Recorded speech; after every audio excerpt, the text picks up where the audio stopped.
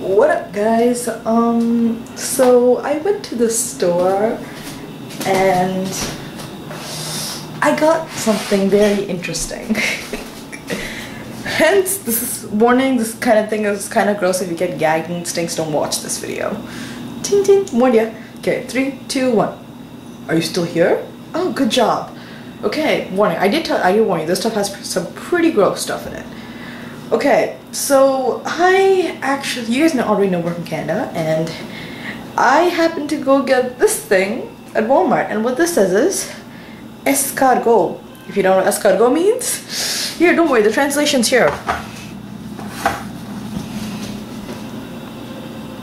Guess what that says? It's backwards, but oh well. Snails.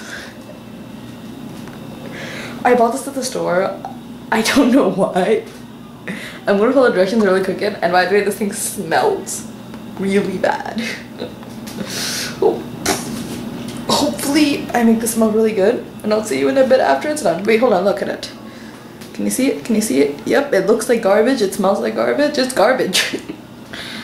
Alright, I'll see you in a bit. Okay, so there was a gigantic can of it before, but I decided just to make three.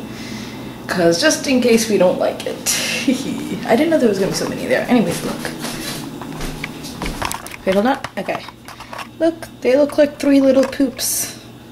I'm going to be making these three little poops. Wait, hold on, strong light.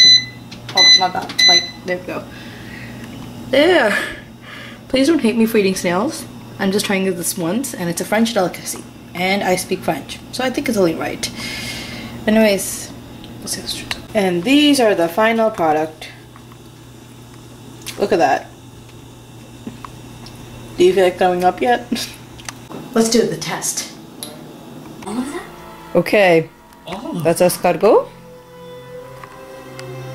And he will eat it. So will he. He's gonna eat it. okay, I bought folks. You have to eat it. Come, let's all eat together. Not they. He. Said it. It actually didn't taste that bad. Well, to be more fair, it didn't taste like anything.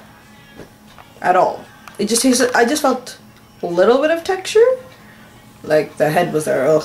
I felt a little bit of texture, but other than that, it didn't taste too bad. It didn't even taste like anything.